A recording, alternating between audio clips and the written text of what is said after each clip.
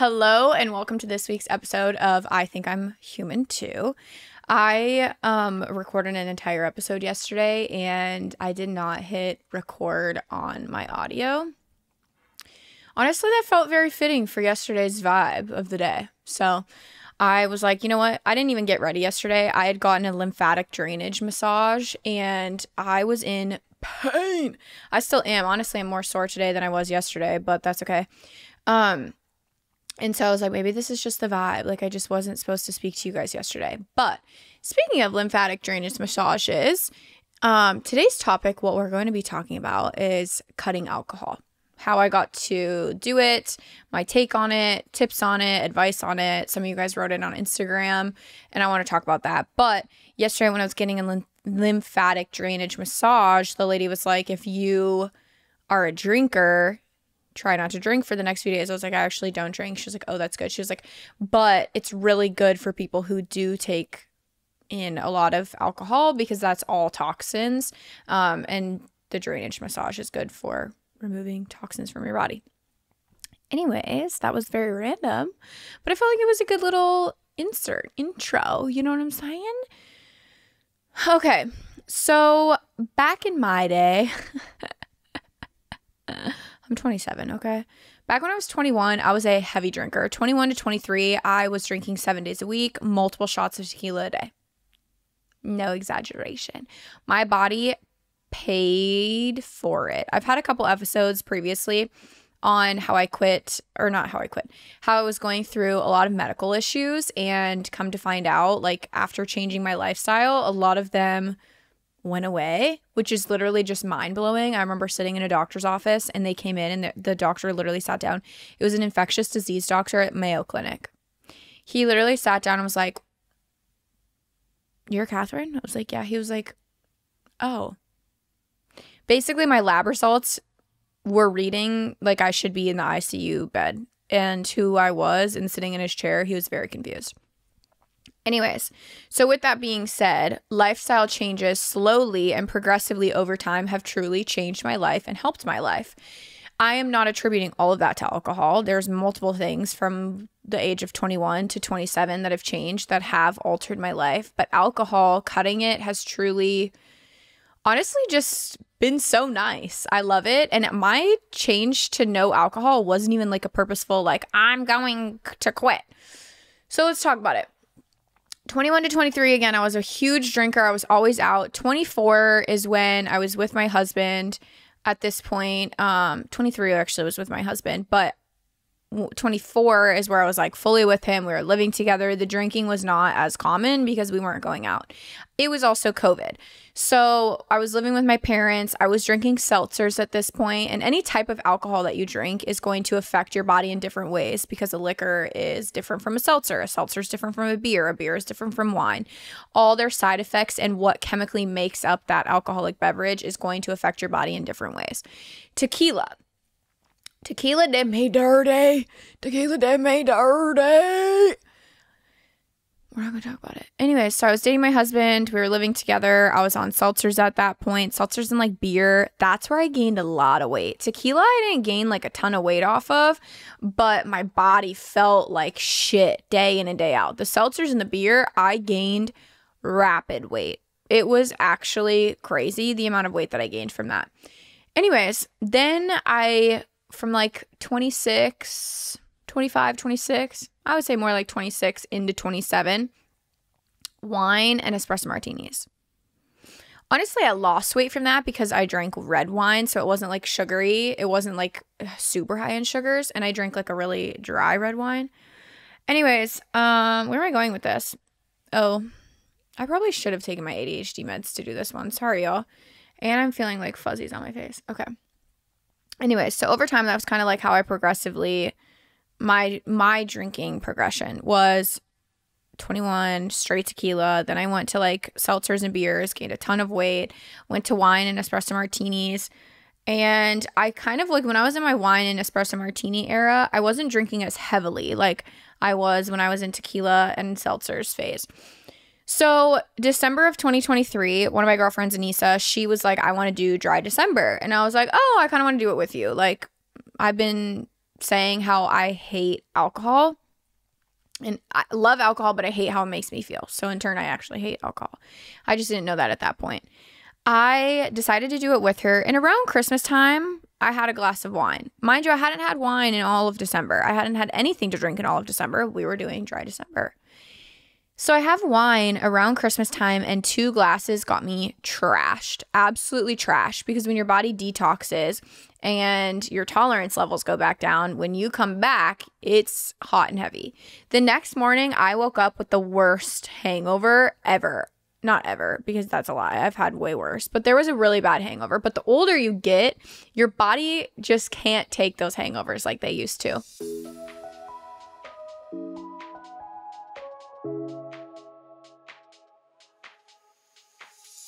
Talking about the anxiety and the hangovers, let's talk about Element. I've shared with you guys so many times Element before. It is the electrolyte drink mixes that we put in our waters. I kid you not, it's one of my absolute favorites. But not only that, the morning after drinking, I had a guy come over to our house, one of my best friend's husbands. He came over and he was like helping us, and he had drank the night before, and you could just tell he was down bad. And my husband and I were like, drink an element drink an element. We literally put it in his water, and a couple hours went past. We're like, "How are you feeling?" He was like, "Good." And we are like, "I'm telling you, he forgot he even drank that drink, but he thought he was just like feeling better without anything." And I was like, "No, I'm telling you, those elements freaking work.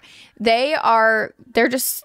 They're amazing. So I've shared with you guys so many times. Like we have so many different friends that drink them. I've shared with you guys before. They're phenomenal and I love it. I love that they've given Human Too listeners a code. So if you want to try them out with a drink mix purchase, you will get a free sample pack.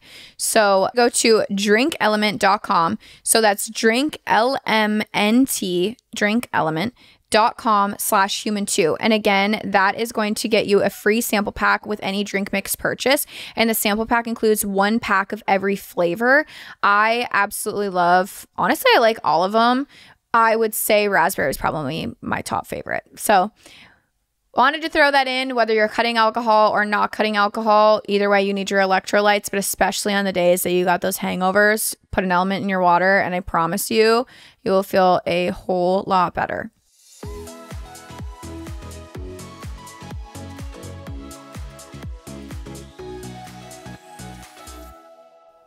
So, let's just let's go back to that too. Hangovers are horrible. Horrible. I remember some days waking up and being like, I need a burger. It's 9 a.m., but I need a burger in my mouth. I need to consume as much grease as physically possible. And then I need to go shit my brains out and go back to bed. And I would lose my entire rest of the day. I would have headache, body aches, fatigue, throwing up, um, just grogginess. Then come to find out, we'll get into this later. The two days remaining after that really bad hangover, I had horrible anxiety. Could not ever tell you why. We'll get into that.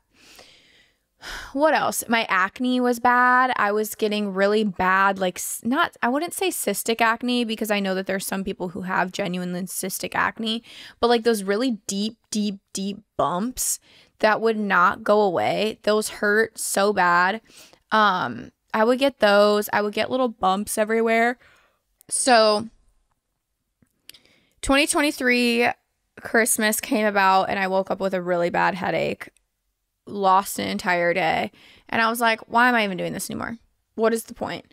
January comes around. I am now in Atlanta with one of my managers. It was his birthday, and I decided to have two glasses of wine with him.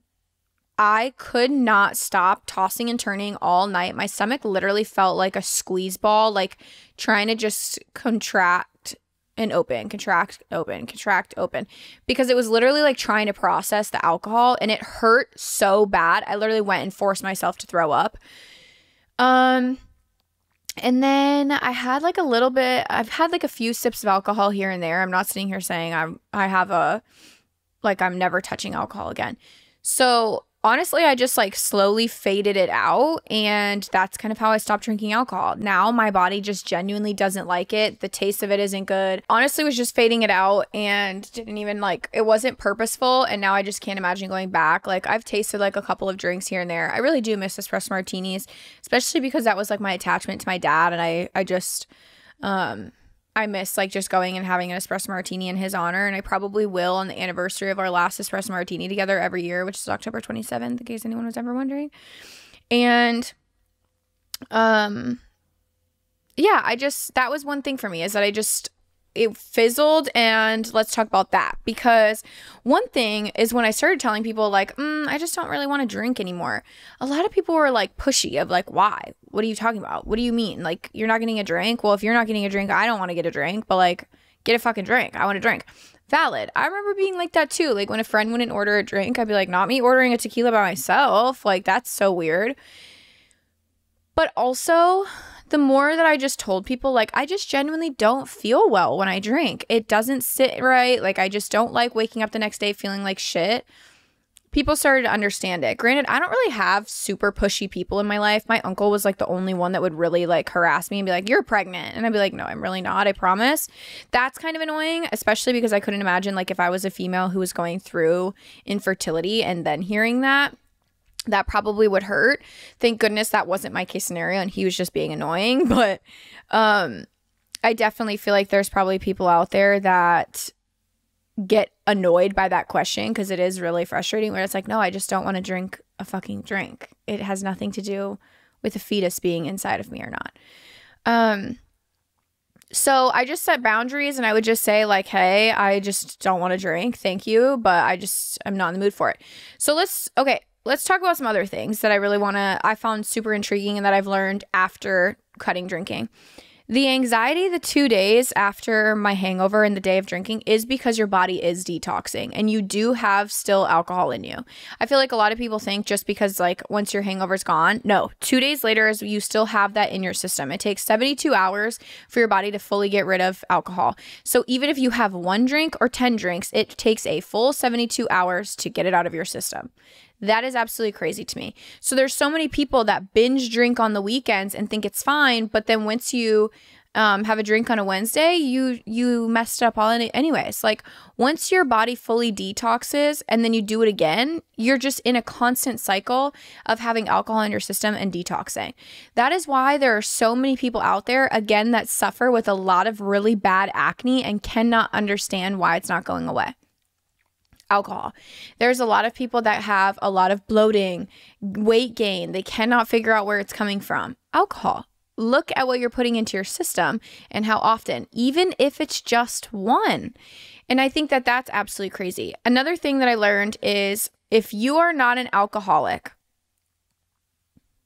listen to me.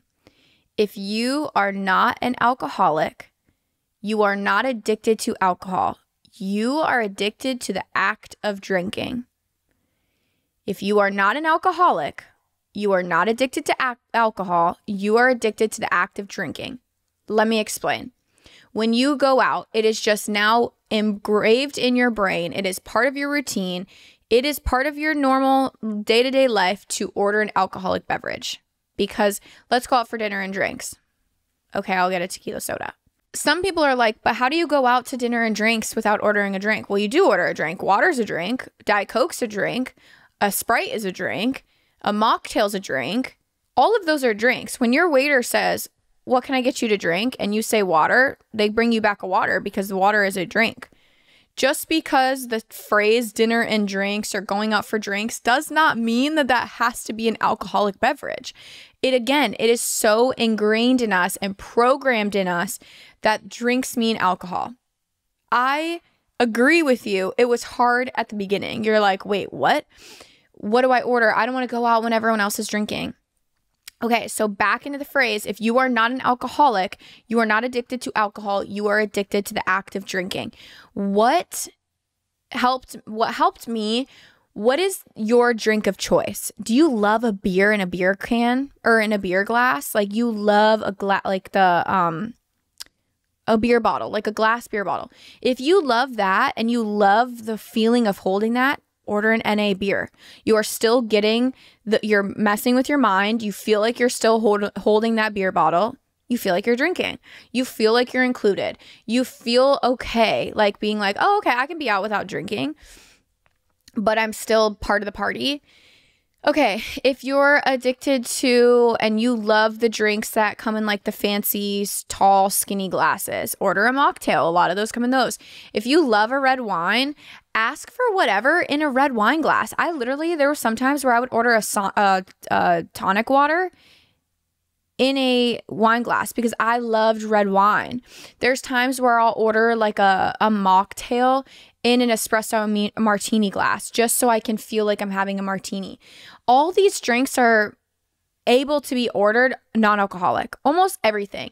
And if you can't say that they're like, mm, no, we can't make that, like, oh, no, we don't have that as an option, Say, can you put a fucking Diet Coke in a wine glass? Like, just so you can feel like you are part of the party. I know that sounds crazy, but it's true because your your body is so addicted to holding what it knows. And that's what you're addicted to is the act of drinking. Going out with your friends, it's the part, it's literally the norm now. It's going out for dinner and drinks, hanging out with your friends. It's so odd because it's like I feel like back in the day, people had so many more hobbies. And now, today's age, like 20 year olds, 30 year olds, we all go to bars. Like, we like to go out. We like to go out to eat. We like to go out to find new places. I'm a culprit. I love a new good restaurant. I love it. Going out with some friends to try a new place is my jam. Like, that is truly my hobby. I love that shit. But that doesn't mean that alcohol has to surround that evening. So, I also want to talk about what it's like to be with people who do drink. That's a big thing. How do you go out with people that are drinkers when you're not a drinker? Easy. Order something that you want that's non alcoholic in a glass that you like. I do think setting the boundary again up front of saying, hey, if you know like your friend's like a drinker, drinker, like, you know, those friends that are always like, they're going to get themselves into some shit tonight I would just be either one, don't go out with them, or two, just say, hey, love you so much, but like, I want to stop drinking for a little bit. I'll go out with you because I'll have a mocktail or a soda or something. Um, and I'll still be fun. But like, I just want to let you know that once you might be getting to a point of like, ooh, this is a little too far, I'm going to go home. Set the boundary. I literally say that all the time. I just tell people, like, my brother Aaron, when I first stopped drinking, he was still drinking. I don't think he really even drinks that much right now, honestly. I don't know. Um, but I always just say to him, I'm like, just so you know, I'm not drinking. That was what I would say to him. And he'd be like, okay. And I'm like, okay, well, if you get a little litty titty, that's on you. And he's like, I know.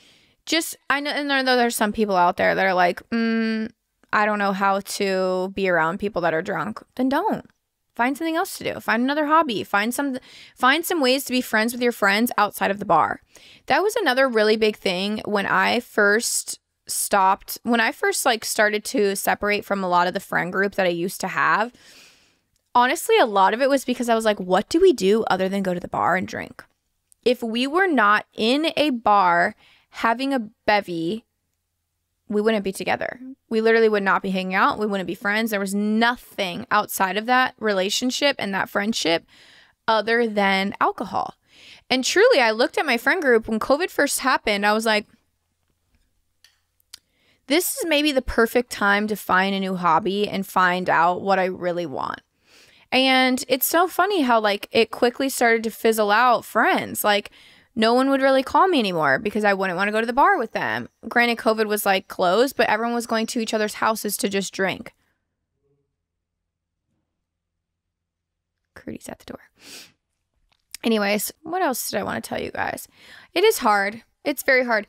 This is another thing I really want to talk about. I come from a family of alcoholics, like genuine. Uh, the disease of alcoholism runs in my family. I do not have that. And something that I'm really, really, really, really passionate about is when you don't drink because you choose not to drink. I don't like when people are like, oh my God, you're sober. Congratulations. No, please don't say that. Please don't say that. Ask me why I've choose to stop drinking. Are you like, oh, what made you stop drinking? You know, I just really don't like the way it makes me feel. So I just decided to stop drinking alcohol. That is somebody who is choosing. An alcoholic is genuinely working hard each and every single day to say no to that beverage. I give them mad props and they deserve the congratulations on being sober. Congratulations for your 60 days. Congratulations for your six hours, whatever it is. They deserve that. Me being me saying, I just don't want to drink alcohol. Oh my gosh, that's so good for you. Like, that's amazing. I love that you chose that life. Like, that's great. But to claim the sobriety is really messed up. And why I'm saying that is for people who are listening who might like I posted a TikTok the other day and I was like, yeah, I gave up alcohol, like blah blah blah there were so many people in my comments being like, oh my God, congratulations on your sobriety, blah, blah, blah. And I'm just like, I feel such a guilt because I know how hard those people work to be better and to say no to the alcohol and to put the bottle down and to find a new outlet. That is a genuine, genuine daily effort to be a better person for themselves. Me, I just say, oh, no, no, I'm just not drinking today. It, there's not anything in my brain that's like, I gotta have that glass. I gotta have that glass. Like, I don't have those whispers in my brain. So I don't want to discredit all the work that those people have put in to hush the demons in their brain saying you do need that drink. Um, so I just wanted to say that too. What was another thing I wanted to talk to you guys about? I did open up on Instagram a questionnaire of people that had some questions.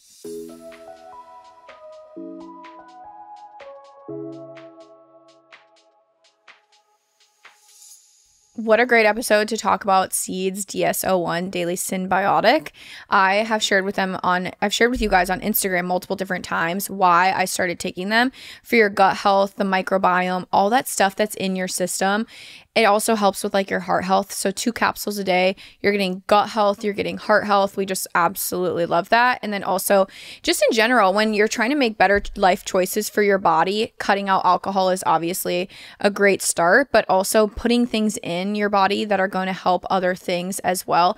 You're just starting on a daily ritual to a better health especially with summer coming up, travel is crazy busy for at least us. I don't know, a lot of other people probably take family vacations during the summer. One thing that's nice about Seed is that you don't have to put it in the refrigerator and it also comes with a travel little container, which I love because you just throw the capsules in there, you throw it in your purse. You again, you don't have to put it in the fridge. You can be on the move with it. They are backed by science. It's two capsules a day. It's just absolutely phenomenal to just be able to do what's right for your body and take care of yourself. I I don't know, the older I'm getting, it's just more and more important to me. So if you want to support your gut this summer, go to seeds.com slash human too. Use code 25, so 25 human too, and that'll get you 25% off your first month of the DS01 Daily Synbiotic. I will also make sure that that code is linked down below in the caption. And then also, I will post a link on my Instagram stories so you can have a direct link and then also have the code easily accessible for you.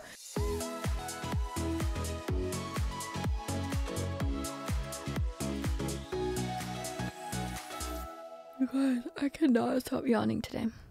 I apologize. How do you keep the temptation out? When I first started, I wouldn't have the drinks in the house. That is a big thing for me. The other day, we were at Trader Joe's and I love like a deep, dark coffee stout, like a Guinness isn't my go-to, but like that thickness, like Guinness thickness, darkness, that's my shit. I don't like Guinness itself, but I just wanted to kind of give you guys the the the picture in your head of like how dark I like my beers. They're always very um high in alcohol because of how thick they are. And we were walking past them at Trader Joe's yesterday. I was like, ooh, one of those just sounds good. Like just a sip of it just sounds good. And I said no because I was like, why do I need a six pack in our house? Like, I don't need a six pack of that. It won't get drank. And there's no point. Even one can, I would open it up just for the sip of it because it just sounds good, but I wouldn't finish it. So making sure that I don't purchase it, that was really strong at the beginning. There was times where like Raphael Granted, I'm not the person, like, I've never been an at home drinker. Raphael likes a beverage at home. Like, when he's watching a game, he'll have some crown or whatever. Like, he loves to just have like a little glass and just sip. I've never been that. I've only always been a social drinker when I'm out and in the world. Like, I've never, ever been the girl at home that was like, oh, I want a glass. Actually, I lied. At the last few months, like last year, end of last year, before I quit drinking, I would have glasses of wine at home. Um, but I was never like I have to have it. It was just that people kept coming over. It was like Thanksgiving and Christmas and there was wine in the house, so I felt like I needed to drink it.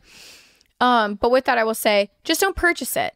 Just stop purchasing it and just ask your partner if they are a drinker to possibly go a, like a week without it just so you can do the same of like getting the voices out of your head? Because then once it's the same thing as like when you eat dessert at night. Like you're just i'm trained my body to just want a dessert at night. I have literally put that craving in my own head. I never had that before but then i started getting in the routine of eating dessert every single night and now i crave it. But it will take two to three days to break that craving of just not having oreos in the house. As soon as i know they're not in the house that craving goes away almost instantly because i'm like dang, it's just not here. Okay, the only reason I'm thinking about it is because subconsciously I know it's in the house. But if I were to just not make the purchase and know it's not in my pantry, I would probably have an easier time of being like, oh, I don't need it today. So that is one thing where I'm like, I definitely think if you just weren't to purchase it, it would help with the whispers in your head of like, ooh, don't forget you've got that bottle of tequila. Don't forget you've got the vodka out there. Um, and if you have a partner that's not willing to give up drinking, but you're really dedicated, just stay strong. Again, cut anything that's in the house that you have. And then when you're going out to eat, again, make sure you're ordering something that is non alcoholic, but maybe in a glass that you like. It's so easy to be like, oh, I'll just have a Diet Coke, please. Oh, I'll have a lemonade. Oh, I'll have a water, please. Um, or no thanks, I'm great with water, whatever the case may be. Um, so that's a start gardening instead. Yes, you guys know that I love my THC cocktails. I like the Giggly brand. There's multiple other brands out there. Um, if you want like a microdose, I think Cann C A N N. That's a good brand for a microdose. I think they have some that are like two milligrams. It just gets you to a level where you're like, hee hee, like you're still like having fun. You feel like you're drinking. Like if we were to have friends over, um, and everyone's having drinks, I would have a giggly. Like, I'm not saying no alcohol is allowed. Again, I am not an alcoholic where I have a genuine, like, fuck, if it's around me, I have to have it. Those I give mad props to people that have have are alcoholics and have quit drinking and can now be around it because I know that's probably very hard and again it takes a daily effort to say no. But I don't have that voice in my head where I'm just like I'm good with a water when everyone's drinking. Um but I do love me a little giggly when when the party's going on. Um, no question, but been debating on cutting out alcohol, and I think this is my sign. I feel like if you have any sort of desire to, just try it. I'm not ever saying I will never have an alcoholic beverage in my life again. I will never drink again. I'm not saying that. I'm just more saying that I enjoy how I feel without alcohol in my system. I love waking up and not losing my entire weekend to an alcohol hangover. I love um, that my body doesn't feel inflamed. I love that the acne that I used to get is no longer. I love that I'm not profusely sweating. That was another thing. I would sweat from every nook and fucking cranny this body could give. My legs would sweat, my forehead would sweat, my stomach would sweat, my butt would sweat. I was just profusely sweating all the time. Now I'm like, I barely sweat. And it's so funny because I'm like, well, all I really drink is coffee and water. So I'm like, once I learned it was because your body is really trying to just sweat out all the toxins. When you're if you're a heavy drinker and you sweat heavily, um, that's a side effect that I guess I'd I don't think a lot of people knew because no, because I didn't know it. Um, if you have one, what's your go-to mocktail? I love anything with cucumber. I can't go like even if it's just a freaking cucumber water with a mint, fire. Like a sparkling cucumber water with mint, fire. What have you done in place of alcohol to relax after a long week? Honestly, again, um, I garden. So if you're not a THC girly, you can't do that, but, or you wouldn't do that. I don't know. There's a couple of things like I love a good melatonin at night. Those definitely relax you. I know that sounds silly. When my dad had passed, I because I don't garden every single night. I feel like a lot of people think I garden every single night, and that's not true. Um, I was way heavier on gardening when my dad first passed because I just wanted to calm the the voices in my head of like fuck your dad's really dead. Like I really just needed to be happy. I was really depressed gardening really helped get me through that depression and really truly just work through those thoughts with a smile on my face versus I'm not getting out of bed. But melatonin's a really good one because it kind of mellows you out, it calms you down. CBD gummies are really good. CBD is not THC. I feel like a lot of people think that it is and it's not. Um, CBD just kind of helps you mellow. Um, what else? could you take at night that will just help you kind of relax? I really think if you're like really high strung, CBD would be a good one. Melatonin just gets you really, really relax and just like mellow. I don't know. I don't know. Melatonin's good. And it helps you with some phenomenal sleep and shit if you really got to shit. Elaborate on cutting out completely or just occasional, and if so, how often? I really don't drink at all. I haven't drank in months. Um, I've but like I again, like I've said, I've had a sip. Like the other night, someone ordered an espresso martini, and I wanted to taste if that place had a good one. Um, and it was absolutely atrocious. Um, what's a good bar drink to order while mingling in a bar setting? Whatever you want. Whatever looks good, sounds good. A non-alcoholic beer is always good. Um, like those NA zero beers are good a Topo Chico. I love getting a Topo Chico and just putting a straw on the top of it and walking around because Topo Chico's in the same can as like a seltzer. Nobody even notices. Nobody cares. What has the hardest part been and what's the most rewarding part? The hardest part is just people asking all the time, like, why? Um, I just don't like it. And that's just, but like, I'm also very like I don't I have pretty thick skin like I don't get offended. I feel like I get more offended in this act of someone else. Like I get offended for other people in the sense of, oh, why are you pregnant? Because again, what if someone at the table is struggling with infer- infertility and that's like hard to hear? Like, I don't know. I don't know. I just get like offended for like that kind of stuff. I'm like, no, I'm not pregnant, and like, stop asking people that. Like, I'll get like that, and I feel like people are like, like I'm offended, because I was asked if I'm pregnant. And I'm like, no, no, no, no. I just get annoyed that like that's even a question. Just shut up. Like if someone says they're not drinking, just shut up. So I think that's been the hardest part. The most rewarding part is honestly how I feel. I feel so good every single day waking up. Like, again, my body feels so much better. Um, everything like flowing within my body feels better. There's just a lot of pros to it, in my opinion. How to be around drunk people while being sober.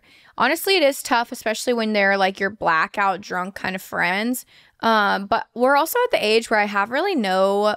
Back in the day, I would feel like I was responsible for my friends when I was drinking because obviously we're young and blah, blah, blah. But now I'm an adult. Like, we're real fucking adults. Like, I'm married with a house and dogs to come home to. Like, I don't got time to be babysitting other people. Okay. So if you set the boundary of, hey, I want to like I would love to do dinner with you, and but just so you know, like once it gets to the point of like me going home, I'm going home with no questions asked. Like I'm gonna tell you I'm leaving and let's go. With that, because there's some friends that are like, no, stay, have another drink. Or like, come stay, I want one more drink. Like, okay, well then you enjoy your night, you have fun. Uh, let me know when you get home safely. Um, if say a bunch of my girlfriends are going out and it's a girls' night out and they are purposefully going out to get drunk, one of two options. I either will not go or I will say, I'll go for a little bit, but then I'm going to head out before it gets too rowdy. And I stick with that. Again, it's hard because we are so engraved and programmed to babysit those friends, especially when you're sober and you know they're drinking. You're like, damn, I should stay around and make sure they get home safe. It's not my responsibility anymore. We're not 21 years old and single at the bars anymore. All of my friends are at the age where we know you are responsible for yourself. I can't feel guilty if anything happens to you just as much as you shouldn't feel bad if anything happens to me. Obviously, you can feel bad, but it's not your responsibility. Uh, my responsibility is my husband and my three animals, and maybe children in the world one day. But as of right now, my responsibility is within this household. I cannot babysit grown women, grown men. Like it just it just doesn't happen. So setting the boundary of saying, I'm not going, or I'll go, but I'm going to leave when things get crazy. Is it awkward in social settings to be sober when everyone else is having cocktails or beer? I think anything in life is whatever you make it. If you think it's uncomfortable, you're going to display uncomfortability and you're going to feel uncomfortable. Then people might feel uncomfortable. People might say, What the hell? Why aren't you drinking? If you are like, No, I don't give a fuck. I'll have a great time with my little water over here. Then people are going to be like, Woo, let's go. I think it's whatever you make it. Um, other than LaCroix type drinks, what else could satisfy or mimic without calories that you've tried? There's a lot of NA calorie free drinks. Um, I definitely think a LaCroix, a Topo Chico, a tonic water. Um, I know we said LaCroix. There's other brands out there like Poppis or Olipops are really good because they've got like good things in it for you, like prebiotics, probiotics. Um, there's just good things in it for you. It gives you a colorful drink. Like I used to love putting Poppis in a wine glass too. Um, how long until you noticed a difference in the way you feel? Honestly, just within a few days. Like I said, it takes 72 hours for it to fully get out of your system. And then you'll start to notice less bloating. If you keep up with your water, you'll continue to sweat out. And if you really just go for months without drinking, like I noticed a lot of weight loss just in drinking alone or cutting drinking. Obviously, you're not going to drop 10 pounds after three days. You'll drop like the bot the bloating and you'll you'll maybe not be sweaty from alcohol anymore. But it'll take months for your body to like actually start to regulate and be like oh, okay like this is how i feel with just water my system this feels dope. You start to lose weight. I notice my sleep is a lot better. Um i used to think that like do you remember back in the day not back in the day do you remember being blackout drunk and feeling like you got great sleep but you woke up with anxiety the fact that you have to drink to go to sleep sucks because I'm like, well, then the next day you have to pay for it anyway. So, like, did you even get good sleep or now you just exhausted the next day because of how you feel? So, it's like, I get a lot better sleep now. Even my worst night of sleep is still better than my blackout nights of sleep. Even though my blackout, I was like really out for the whole night. It was, I don't know if that makes sense. Uh, how to stop the FOMO? Again, just order something too. Buy stuff that makes you feel like you're drinking.